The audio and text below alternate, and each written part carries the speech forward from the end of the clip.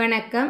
இந்த வீடியோ லெக்சரில் ஹார்ட்லே ஆசிலேட்டர் டாப்பிக்கில் இருக்க இம்பார்ட்டன்ட் ப்ராப்ளம் சால்வ் பண்ண போகிறோம் ஸோ ப்ராப்ளம் சால்வ் பண்ணுறதுக்கு முன்னாடி இங்கே யூஸ் பண்ணுற ஃபார்முலாஸ் பார்த்துக்கலாம்.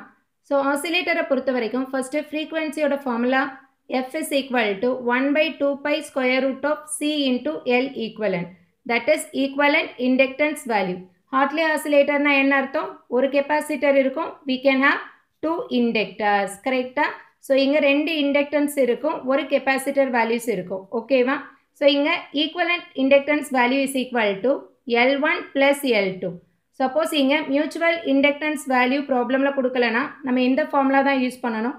இங்கே மியூச்சுவல் இண்டக்டன்ஸ் வேல்யூ கொடுத்துருந்தாங்கன்னா we can use this formula ஓகேவா so next gain of the transistor that is represented as h f e that is forward gain இல்லைனா ஏன்னு ரெப்ரசன்ட் பண்ணலாம் that is equal to the ratio of l one to l two ஓகேவா so இங்கே mutual inductance கொடுத்துருந்தாங்கன்னா we can use this formula ஓகேவா first problem in a Hartley oscillator, if L1 is equal to 0.2 millihenry, L2 is equal to 0.3 millihenry and C is equal to 0.003 microfarad, calculate the frequency of its oscillations.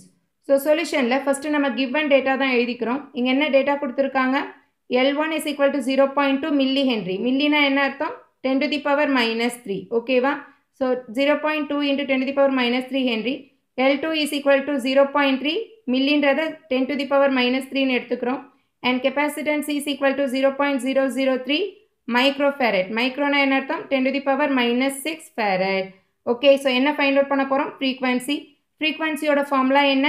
F is equal to one by two pi square root of c into l equivalent so இங்கே Hartley ஆசிலேட்டரை பொறுத்த வரைக்கும் எதோட equivalent value use பண்ணுறோம் இண்டக்டன்ஸோட equivalent value so இங்கே equivalent inductance is equal to what l one plus l two so ஆக்சுவலாக என்ன வரும்? L one plus L two plus two எம்னு வரும். இங்கே ப்ராப்ளமில் mutual inductance கொடுக்கலைன்னா we can consider that as zero புரியுதா? So we can take only L one plus L two so first என்ன find out பண்ண போகிறோம் equal and inductance value So L1 is equal to 0.2 into 10 to the power minus 3. L2 is equal to 0.3 into 10 to the power minus 3. So இங்க 10 to the power minus 3 common எடுத்துரும். We can add this 0.2 and 0.3. So we can get the equivalent inductance is equal to 0.5 into 10 to the power minus 3. இது புரியுதா எல்லாருக்கும்? So equivalent inductance find out பண்ணதுக்கு அப்புறமா we can substitute this value here. ஓகேவா? So frequency is equal to 1 by 2 pi square root of 0.003 into 10 to the power minus 6. That is capacitance value and equivalent inductance value. We can simplify this using calculator. So calculator use பண்ணி இந்த values simplify பண்ணோன்னா we can get the frequency is equal to 129.95 into 10 to the power plus 3 hertz. So plus 3 எப்படி சொல்லலாம் கிலோஹர்ட்ஸ்னு சொல்லலாம் புரியுதா this is the answer okay so next problem in a Hartley oscillator L1 is equal to 20 milli and C is equal to 100 picofarad calculate the value L2 for a frequency of 100 kilohertz also find the gain of the transistor so இந்த ப்ராப்ளமில் என்னென்ன data கொடுத்துருக்காங்க l one கொடுத்துட்டாங்க it is in terms of millihenry மில்லினா என்னென்னு எழுதுவோம் ten to the power minus three ஓகேவா so இங்கே capacitance கொடுத்துருக்காங்க. கெப்பாசிட்டன்ஸோட வேல்யூ என்ன?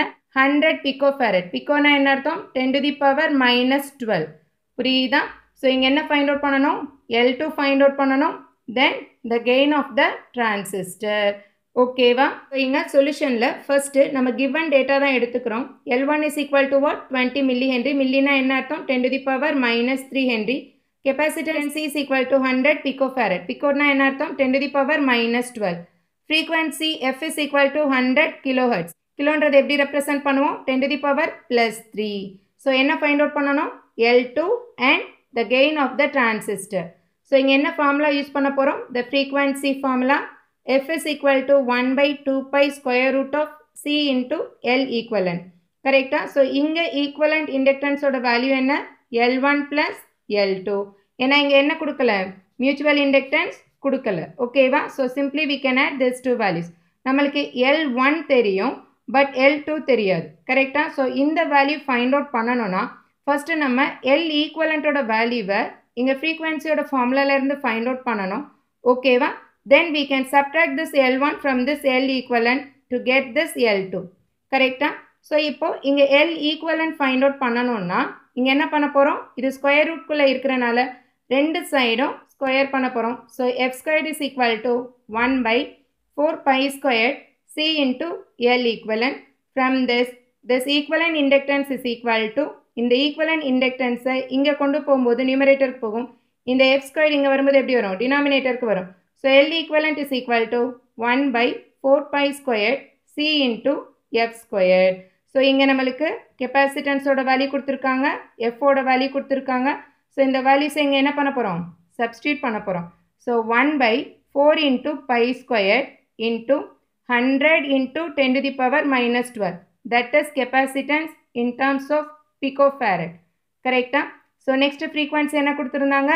ஹண்ட்ரட் கிலோ ஹர்ட்ஸ் இங்கே என்ன இருக்குது ஸ்கொயர்டு இருக்குது so hundred into ten to the power three the whole squared இது புரியுதா எல்லாருக்கும்? ஸோ இந்த டேர்ம்ஸ் எல்லாம் நம்ம என்ன பண்ணணும்? சிம்ப்ளிஃபை பண்ணணும் using calculator and then we can find out the answer as twenty five point three three milli henry okay so இப்போ நம்மளுக்கு ஈக்குவலன் இண்டக்டன்ஸோட வேல்யூ கிடச்சிருச்சு. இதுலேருந்து என்ன கண்டுபிடிச்சிடலாம்? L two value so equivalent inductance is equal to L one plus L two so இதிலேருந்து நம்ம L two value எப்படி ஃபைண்ட் அவுட் பண்ணலாம்? Subtract this L1 from this equivalent inductance. Correct? So you can simply substitute the equivalent inductance value here and L1 value here. and then we can find out this L2 value as 25.33 into 10 to the power minus 3 minus 20 into 10 to the power minus 3. So, இங்க 10 to the power minus 3 common எடுத்திருக்கோம். So, 25.33 minus 20 நா, we can get the answer 5.33 into 10 to the power minus 3 Henry. So, 10 to the power minus 3 எப்படி எழுதலாம்? Milli ஹென்ரின் எழுதலாம். புரியுதான்? So, next என்ன find out பண்ணப் போரும்? gain. So, gain ஓட formula என்ன? 0.5 hf is equal to the ratio of L1 to L2. So this is the formula. Substitute L1 value here and L2 நம்ம என்ன find out பண்ணமா அதை இங்க substitute Then we can get the gain of the amplifier is equal to 3.75. புரியுதா எல்லாருக்கும்? Next problem. In a Hartley oscillator, L1 is equal to 20 millihenry and capacitance C is equal to 100 picofarad. Calculate L2 for a frequency 100 kilohertz. The mutual inductance between L1 and L2 is 5 microhenry. Okay. Also find the required gain of the transistor. So இந்த ப்ராப்ளமில் என்னென்ன data கொடுத்துருக்காங்க l one கொடுத்துருக்காங்க capacitance கொடுத்துருக்காங்க frequency and mutual inductance. So in the problem la, we can include the mutual inductance in all So இங்கே மில்லின்றது என்ன 10 to the power minus 3. இங்க பிகோனா என்ன 100 into பிகோன்றது 10 to the power minus 12. இங்க கிலோனா என்ன அர்த்தம் 100 into 10 to the power plus 3. Okay மைக்ரோனா 10 to the power minus 6. Okay. So இந்த வேல்யூஸ்லாம் நல்லா ஞாபகம் வச்சுக்கோங்க என்ன ஃபைண்ட் அவுட் பண்ண போகிறோம் L two and gain okay so இங்கே நம்ம யூஸ் பண்ணக்கூடிய ஃபார்முலாஸ் வந்து frequency and equal and inductance value ஃப்ரீக்வன்சியில் இருந்து equivalent inductance value find out பண்ணிடலாம் ஸோ ஈக்குவலன் இண்டக்டன்ஸில் இருந்து L two value find out பண்ண முடியும். ஸோ இங்கே மியூச்சுவல் இண்டக்டன்ஸ் கொடுத்துருக்கிறனால ஈக்குவலன் இண்டக்டன்ஸோட ஃபார்முலா என்ன? L one plus L two plus two M okay so next ஸ்டெப்பில் எல் ஈக்குவலண்ட் வந்து ஸ்கொயர் ரூட்டில் இருக்குது ஸோ இங்கே என்ன பண்ண போகிறோம் ஸ்கொயர் பண்ண போகிறோம் so we can get F square is equal to one by four pi square C into L equivalent so இங்கே எல் ஈக்குவலண்ட் வந்து இந்த பக்கம் போகும்போது நியூமரேட்டருக்கு போகும். எஃப் ஸ்கொயரிங் வரும்போது டினாமினேட்டருக்கு வரும்.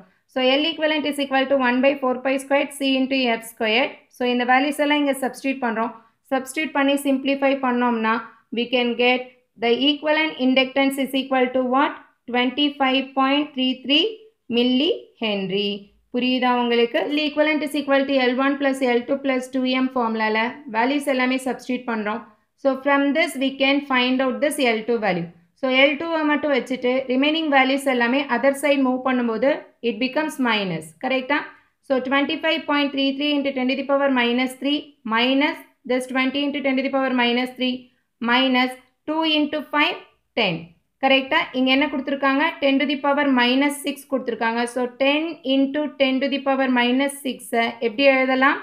Zero point zero one into ten to the power minus three because இங்கே இருக்கிற ரிமைனிங் டேர்ம்ஸ்லாம் என்ன இருக்குது ten to the power minus த்ரீயில் இருக்கிறனால இந்த டேர்மையும் எப்படி கன்வெர்ட் பண்ணிட்டோம்? Ten to the power minus த்ரீக்கு கன்வெர்ட் பண்ணிட்டோம்.